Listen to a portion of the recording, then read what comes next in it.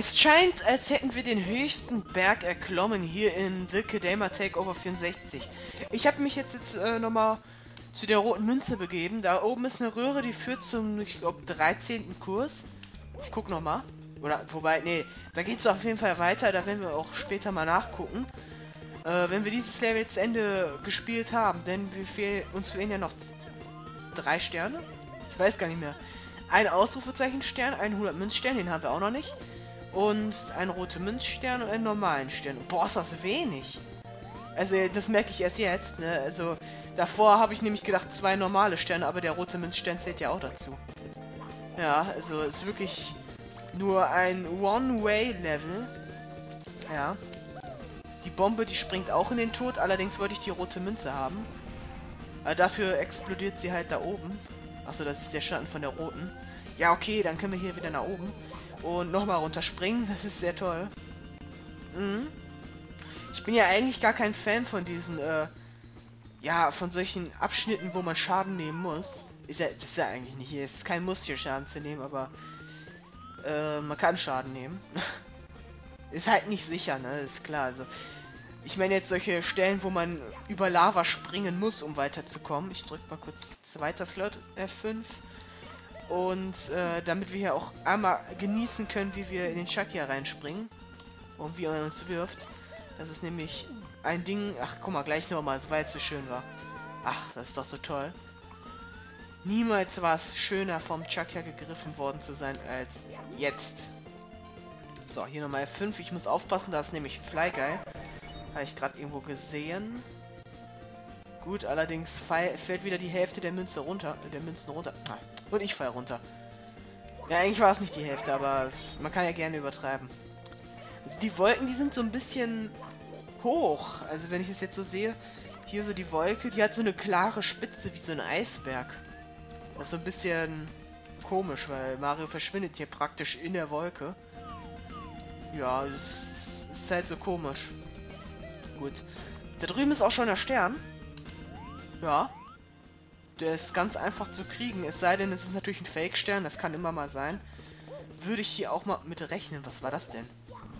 Okay, da war anscheinend irgendwie eine Fläche nicht da. Ich kann ja mal so gucken, ob da...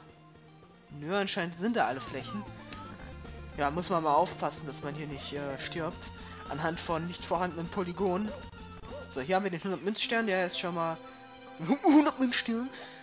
Wie schnell ich das immer ausspreche. Ich versuche hier so durchzuhaspeln und äh, letzten Endes versteht mich keiner, ist klar.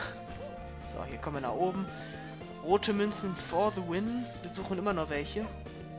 Ja, und ich gehe einfach mal davon aus, dass diese blaue, lila, gelben Ränder vom Level hier ja überhaupt nichts aussagen. Wobei, ja, also, dass wir sie nicht betreten können, weil sie irgendwie zur Verschönerung da sind. Ist ja auch toll so. Ja, also das ist ja auch, hat ja auch was mit Textur zu tun. Das ist jetzt nicht so, dass er jedes, äh, alles äh, voller Polygon ist, sondern einfach nur so eine, so ein Ring aus einer Textur, die eigentlich richtig gut getexture-mappt ist. So, hier wir die rote Münze, die hätte ich auch noch gerne. Also schon gut getexture-mappt. Wenn man das hier so sieht. Ja. Weil normalerweise, wenn man äh, mal eine Textur reinsetzt, dann ja, da, da geht sie einfach in eine Richtung, aber hier wurden die, wurde der Ring richtig aufgeteilt und nochmal, also in die einzelnen, wie nennt man sie, Kanten aufgeteilt, so, einfach einzelne Wege dazu gemacht, dass man das aus äh, so Texture mappen kann. Also das ist schon viel Arbeit. Es ist mehr Arbeit als einfach nur so einen kleinen, ach scheiße, jetzt bin ich wieder hier. Als einfach nur so ein kleines Ding reinzubauen. Ja, ist natürlich sehr toll, wenn man keinen Self-State mehr setzt, ne? Ist, ist ein Traum. So, hier nochmal hoch. Hier kann man auch nochmal ganz viele Münzen sammeln, obwohl hier kommt ja noch eine Bombe.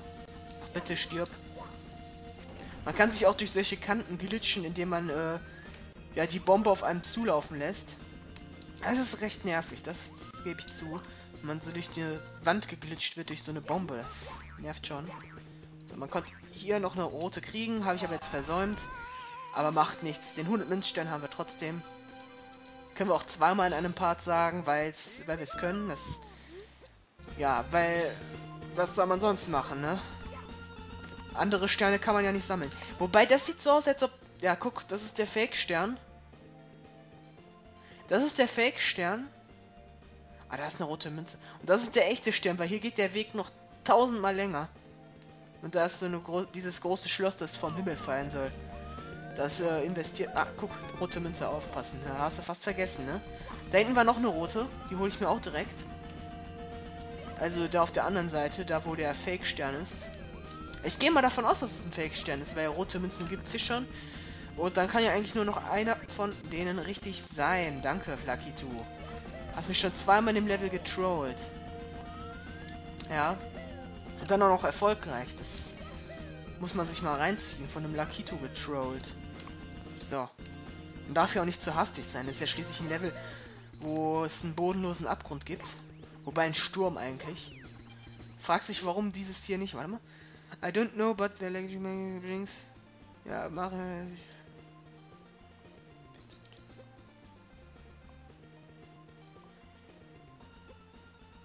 Also wir sollen... Okay. Wir sollen irgendeine Kanone im Vulkan nehmen. Oder, warte mal, zum Vulkan nehmen. Habe ich das jetzt richtig verstanden? Zum oder... Immer dieses Lesen. At the Volcano, also am Vulkan. Da müssen wir einen Vulkan... Äh, eine Kanone am Vulkan nehmen, die schießt uns dann irgendwo hin. Also, mit der können wir uns irgendwo hinschießen. Der ist ein Fake-Stern, dich nehme ich gar nicht erst. Also, wobei, Leben kriegt man dadurch, dadurch schon, aber hier war noch eine rote. Darum bin ich eigentlich hier. Ach komm, hier, da kann ich auch drauf. Wow, da ist ein Flyguy. Die sind richtig böse. Nehmen wir auch mal die Plattform, die dazu äh, bestimmt wurde. Dass wir nicht einfach irgendwie an Wänden rumspringen, die... Ja, die, die uns das alles vereinfachen. Nein, wir wollen ja wirklich den richtigen Weg. Wo hier war ein Flyguy? Äh, eine rote Münze, genau. Da musst du erstmal sterben. Der Flyguy, der macht irgendwie gar nichts aus. Zack, so können wir uns das auch holen. Ganz stylisch. Dann haben wir da noch was. Aufpassen, nicht runterrutschen. Vielleicht ein paar Münzen, ja. Also unnötig. Ja, wobei unnötig, das ist ja toll, dass hier überhaupt so viele Münzen sind. Man sollte immer dankbar sein. Und hier ist der echte Stern, der echte rote Münzstern. Gut. Springen wir erstmal hier wieder runter und holen uns den nächsten Stern, der deutlich äh, schwieriger zu bekommen ist als dieser hier. Oh, mein Hals, ey, irgendwie ist, ist komisch. Da frühstückt man einfach einmal so richtig hart und äh, das bleibt den ganzen Tag. Das bleibt einfach den ganzen Tag. Naja, es ist halt so. So ist das Leben. Ja, dann sollte man das Essen vielleicht auch mal ein bisschen besser durchkauen. Wäre natürlich auch eine Option. Aber hey, ich bitte euch, ne, wenn man Hunger hat und, äh, und gerade am Frühstücken ist und direkt hier loszocken will, dann, ist es ja klar, dass man nicht die Zeit hat, das Essen genüsslich durchzukauen. Also, Essen genießen, nee. Nee, wie geht das denn? Also, das, das hat, hat man mir nie beigebracht. Nee. Ach komm, Fly geil. Ich esse ich gleich auch. Und das, das werde ich genüsslich machen, ja? Dann werde ich das genüsslich machen. So, hier auf die auf dieses Teil hier, auf die Wolke. Ich, ich weiß schon gar nicht mehr, wie das heißt, ne? Aber auch so eine schmale Wolke, die ist ein bisschen... Wow. Aufpassen. Ja komm, hier ist noch ein Goomba, den können wir direkt mal killen. Und die rote Münze sammeln. Eine fehlt noch. Die müsste hier eigentlich auch noch sein. Also, ich verstehe nicht, warum hier keine sein sollte. Es sei denn, da unten fehlt irgendwo eine, aber ich meine, ich hätte alles mitgenommen. Da sieht man es nochmal. Dass wir nochmal alles im Überblick haben. Alles haben wir. Ja, die Bombe hat sich gerade gefreut. Ach, sind das hier tolle Ringe, ne? Das ist auch toll. Das ist halt zur Verschönerung da. Das muss man mal so festhalten. Und hier muss man aufpassen. Ich glaube hier, wenn ich hier einmal um die Ecke gucke, dann ist da eine rote Münze. Nein? Okay, dann nicht. Ich hoffe, ich muss hier nicht irgendwie mal runterspringen von irgendeiner bestimmten Höhe. Jetzt hier nochmal runterspringen und dann den ganzen Weg nochmal hoch, weil das wäre nervig. Das wäre nicht sehr toll. Haben wir hier was? Da haben wir einen Fly Guy. Und direkt noch ein Akito hinterher, weil diese toll sind, die Dinger. Okay. Hier auf den roten Platten kann man natürlich auch sehr schnell rote... Autsch. Das muss ich mir jetzt reinziehen. Boah. Das ist geil. Und ich wette, ich komme jetzt noch nicht mehr hier raus. Genau. Ja, yeah, aber das ist stylisch. Das ist richtig geil. Ja. Ich habe ja zum Glück ein Safe-State an der Stelle, an der Stelle gesetzt. Haben wir diese unsichtbaren Wände, die nerven voll. Ja. Aber was soll man machen? Das gehört zum Leben. Die unsichtbare Wände. Ist da vielleicht die rote Münze? Nein. Okay. Ja, okay, ich... Nur ein guter, nur ein toter Chuckya ist ein guter Chuckya, deshalb schmeißen wir den jetzt runter. Ah, hat nicht geklappt, aber... Ah, dann wäre er richtig tief runtergesegelt, der arme Chuckya, ja. Ach komm, jetzt, jetzt werde ich aber übermäßig hier mit unsichtbaren Wänden zugespammt. So, da lang. So, jetzt kommt's. Jetzt klappt's, ne? Also, ich finde, äh, allein durch diese zwei unsichtbaren Wände ist es schon fast unmöglich, hier ohne Self-Sets durchzukommen, wenn man nicht weiß, wo die unsichtbaren Walls sind. Okay, das war jetzt eigentlich eher... Komm, Mario. da finde ich noch nicht mal eine Ausrede zu. Ah, hier sind auch viele Gegner. So, hier nochmal den schön zurecht dreschen. Aber rote Münzen sind hier auch nicht, ne? Keine roten Münzen für mich. Da hinten ist auch noch so eine Plattform. Oder? Da drüben, wenn man das mal anguckt, dann ist da, ist da, ist da, ist da irgendwas Rotes. Doch, da ist so eine Plattform, da muss ich vielleicht runterspringen. Gut, dann hole ich mir jetzt erstmal den Stern. Ist ja direkt hier um die Ecke. Wobei ist das... Ne, da ist auch nichts, okay. Ja, kann ja immer mal sein, dann äh, kommen wir auch direkt ins nächste Level. Also, dieses Level ist wirklich kurz. Naja, was soll's. Ja, äh, es ist ja nichts dagegen. Es ist halt ein Ding des Möglichen. Okay, warte mal, dich bringe ich jetzt erstmal um. Kann ja sein, dass hier unten hinten noch so eine rote Münze ist. Nö, okay. Dann nicht. Dann gehe ich mal davon aus, dass das ein echter ist. Okay, das ist auch ein echter. Ja, allein dadurch, dass der ganze Weg schon so lang ist. So. The Beat of the Sky. Ja, das geht voll ab, der Beat. Und wir sind hier bei den... Wo sind wir? Achso, bei der Brücke, okay. Da möchte ich nochmal gucken, ob da vielleicht auf dieser roten Platte, die ich da gesehen habe, die rote Münze ist. Ja? Eine rote Münze auf der roten Münze. Wobei, das könnten auch diese Münzen sein. Es könnten irgendwelche Münzen sein, die man halt in Tohu sammelt oder so. Keine Ahnung. Ich kenne mich da halt nicht aus, wie gesagt. Na, ist klar. Aber Münzen sehen halt... Die sehen halt aus wie Münzen und äh, dementsprechend würde ich auch erraten, dass das vielleicht äh, etwas Sammelbares ist. Vielleicht sind das jetzt nicht so die Münzen für Tohu, aber irgendwas wird schon sein. Oder es war natürlich hier der Hintergrund, dieses rote Le Leuchten, aber will ich mal nicht hoffen. Doch, da unten ist was. Da ist etwas und das führt bestimmt zum äh, Castle. Kann das sein? Ah, okay, jetzt springen wir gekonnt dran vorbei. Oder da ist ein Stern, aber das würde keinen Sinn ergeben, weil wir bereits alle Sterne haben könnten. Ach komm, das, das schaffen wir jetzt aber. So, einfach mal hier runterspringen. Ach komm, Mario.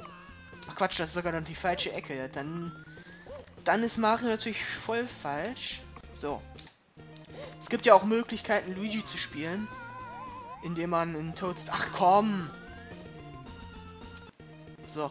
Indem man zum Beispiel in Toads Tool, da, äh, wie heißt das hier?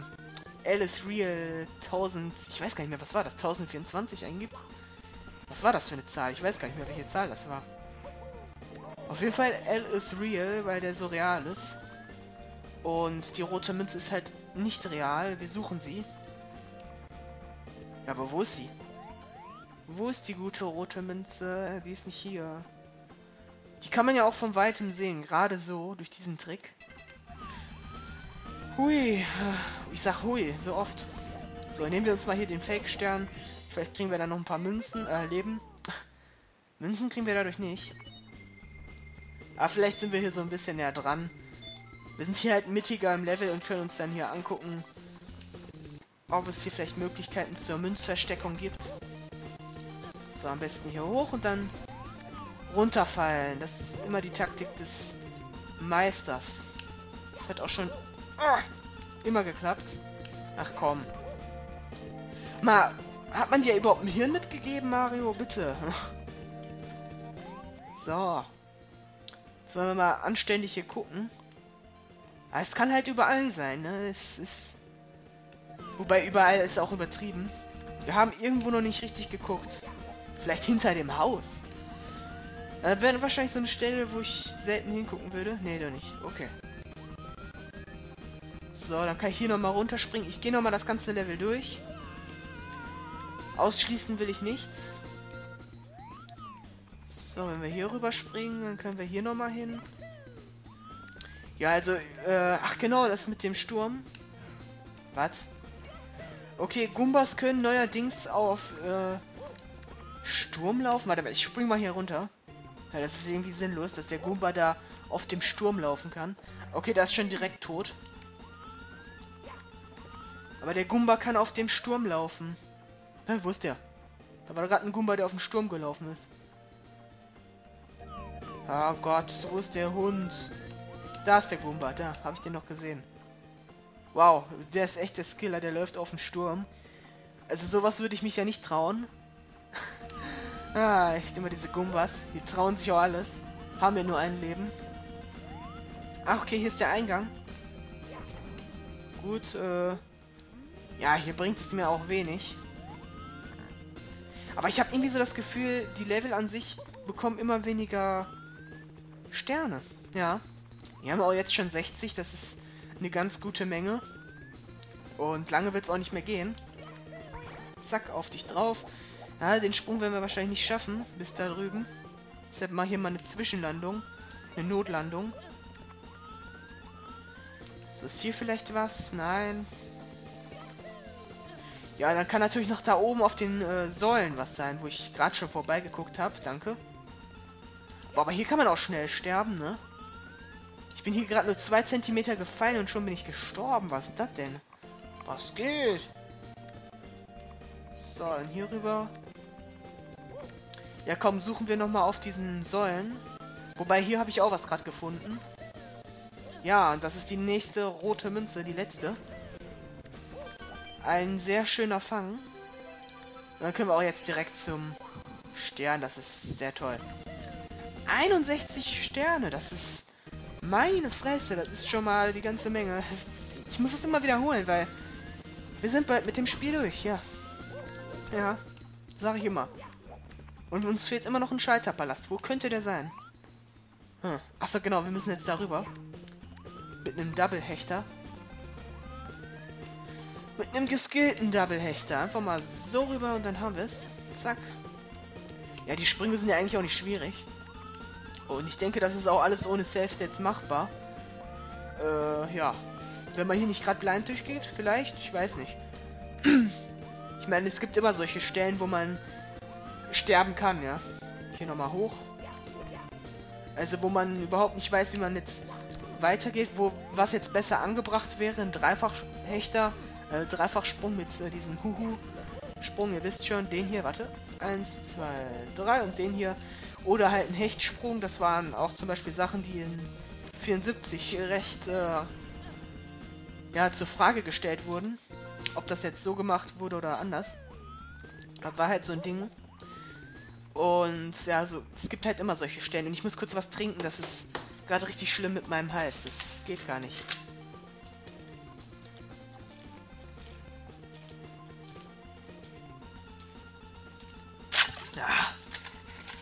So. Da haben wir jetzt auch mal ähm, Vakuum in die Flasche gebracht. So, ah, jetzt geht's schon viel besser. Ah, ja, mein Hals. Alles schon viel besser. Also ich bin ja in letzter Zeit weniger am Aufnehmen und äh, dadurch ist meine Gesprächszeit, die ich aushalte, äh, wesentlich geringer geworden anscheinend. Ja, ich habe allgemein so das Gefühl, dass ich äh, nicht mehr so... Ja, ich weiß auch nicht, weil ich habe das halt lange nicht mehr gemacht. Bestimmt schon so eine Woche nicht mehr das Spiel gespielt hier oder, oder allgemein Let's Played, weil ja, da gab es halt ein paar, wobei eine Woche ist auch wieder übertrieben. Ist halt nicht mehr so oft wie damals bei Returns. Sogar vor Returns, da habe ich ja immer zwei Parts pro Tag gemacht, das ist ein bisschen viel, aber jetzt kommt halt so eine kleine Zeit, wo es halt nicht mehr so möglich ist. So, da ist unser 61. Stern, jetzt gehen wir mal in Kurs äh, 13. Ja. Den größten Teil der Kurse haben wir auch überstanden. Wobei, ja, die Level, die werden ja kürzer und dadurch hat man auch dieses Gefühl, dass es schnell vorbei ist. 91, äh, 96 Sterne, meine ich natürlich. Nicht 91, sondern 96 Sterne hat das Level. So, ich gehe noch mal kurz rein, weil ich habe das Gefühl, ich äh, weiß nicht mehr, wie viele Sterne hier drin waren. Ich meine drei Sterne, 100 Münzstern und ein Ausrufezeichenstern. Drei Sterne, ja, genau dasselbe, was ich meinte. Ich habe mir das Schild ja schon mal angeguckt. So. Wie heißt denn unsere nächste Welt? Mushroom Volcano Crater. Okay. Ja, wir sind jetzt in einem Vulkan. In einem blauen Lava-Vulkan. Irgendwie komisch, dass hier nichts scrollt. Das sieht dem Level überhaupt, also den Level-Design überhaupt nicht ähnlich von Brodude. Jetzt so in letzter Zeit wird ja sehr viel mit Scrolling Textures gearbeitet. Hello, hello, hello. This is the fantastic volcano of the Big Cannon. Okay.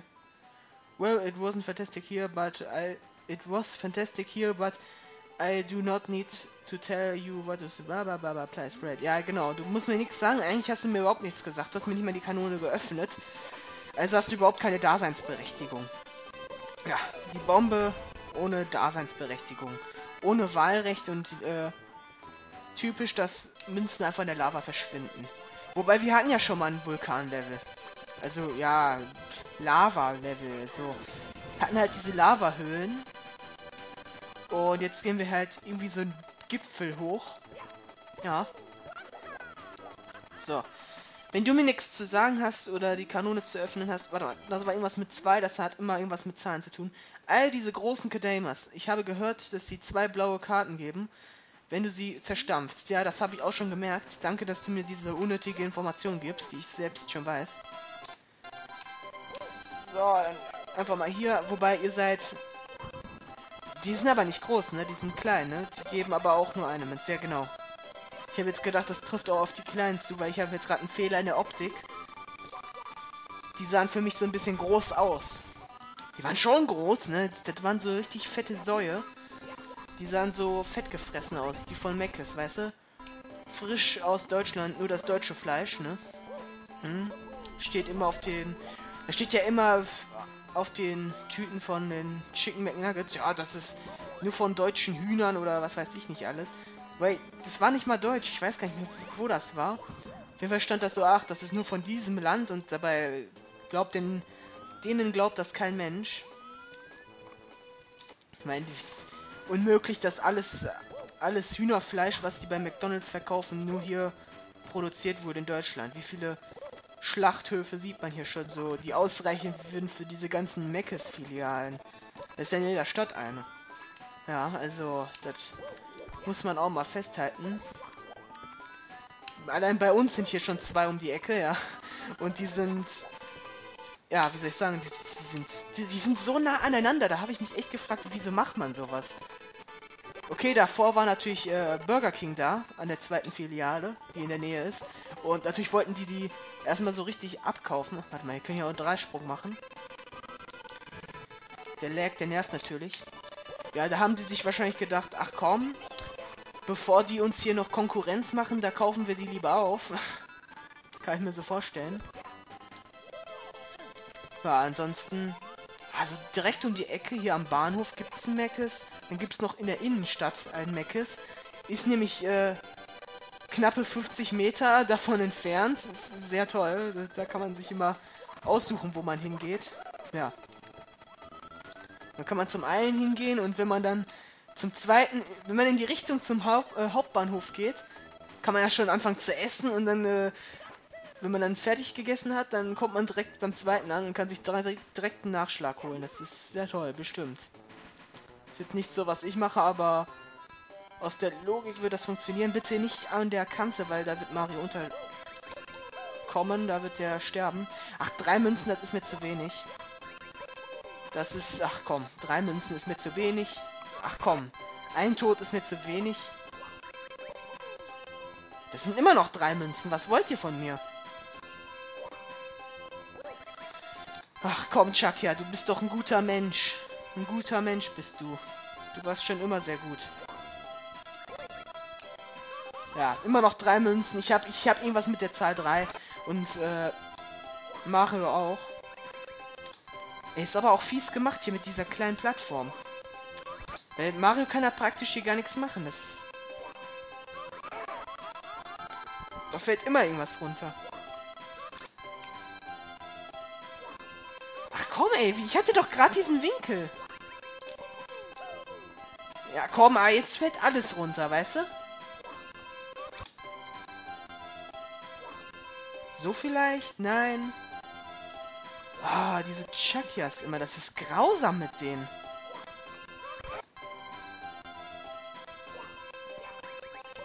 So, für vier. Ha, ich habe dich übertrumpft. Ich habe den Chuck ja so richtig abgezockt, sein Pausengeld weg, äh, ja, weggenommen. So richtig böse, wie ich bin. Ist ja auch egal, der ist jetzt sowieso tot und dem stört sowieso nicht mehr. So, hier haben wir noch ein paar Gedama Goombas. Gedama Goombas. Oder Double Speed Goombas. Hab die lange nicht mehr so genannt. Oh, jetzt haben wir hier so ein Altar. Machen wir den erstmal tot, hier den Goomba. Den armen, betenden Goomba. Wir kommen in seine heilige Stätte und zerstören ihn. Aber der Lag ist wieder groß. Da würde mich echt mal interessieren, ob das wirklich etwas bringt, auf äh, Project 64 2.1 oder so zu wechseln. Ja, vielleicht hilft das dann auch besser der Aufnahme, weil es dann nicht mehr so laggen würde. Ich weiß ja nicht. Ich kenne mich da nicht so aus. Ich habe es mal ausprobiert da zu dem Zeitpunkt von... Wie heißt das hier? Wie heißt das da? Diesen Winterhack von Kase. Äh, äh, äh, äh, ich weiß gar nicht mehr, wie der heißt. Da hat es ja auch immer ziemlich geleckt, weil da so viele Polygone waren wahrscheinlich. Ich gehe mal davon aus. Das sah jedenfalls alles sehr detailreich aus, allein schon weil es gerippt wurde. Diese Mario... Paper Mario... Wie heißt das hier? Hier, Schloss von Peach, das Paper Mario Schloss. Gab es ja auch da und äh, war schon alles sehr detailreich. Und man hat natürlich auch sehr viel Custom-Zeug reingebracht. Das bringt ja nochmal zusätzlichen Lag anscheinend. Komm, hier, dich kann ich ja runter ownen. Vielleicht landest du ja irgendwo sicher, wo ich dich bald mal... Dass er da noch spawnt. Also ich habe eigentlich gedacht, dass er schon außerhalb der Scanner-Reichweite wäre. So, ich kann vielleicht hier nochmal was erreichen. Ja, Mario, bitte noch einmal. Ja, bitte noch einmal. Ja, bitte noch. Okay, da ist nichts. Um die Ecke auch nichts. Dann können wir uns den Stern mal anvertrauen. Gut. 62 Sterne. Äh, ich weiß jetzt gar nicht, wann ich die Folge beenden soll. Ich bin total außerhalb der Scanner-Reichweite. Nee, ähm... Ja, beende ich die Folge einfach jetzt, denke ich mal. Ich habe ja schon die ganze Zeit rote Münzen im anderen Level gesucht. Da hinten ist die Röhre, aus der wir gekommen sind. Gut. Ja, dann werden wir uns beim nächsten Mal hier auf dem gelben Pilz treffen. Und schaltet dann auf jeden Fall wieder ein. Tschüss.